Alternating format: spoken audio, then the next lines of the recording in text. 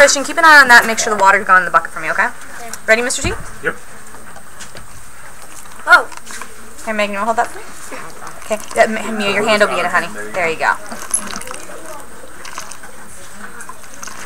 So they have a good reservoir forming. Let's see if the straw is working. Keep an eye at the bottom of the straw down here to see if it works.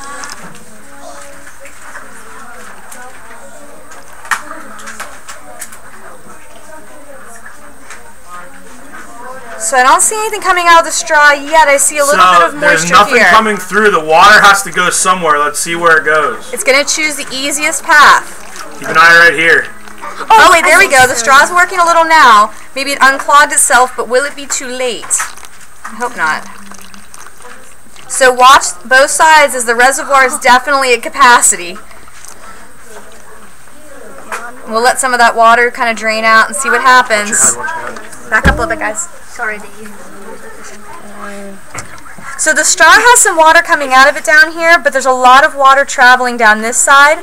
There's definitely a little stream forming here. Is it going in the buckets? Yep. Good.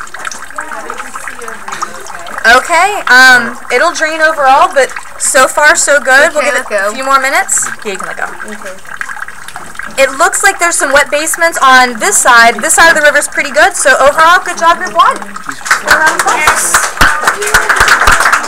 Yes, we survived! Now listen, my class.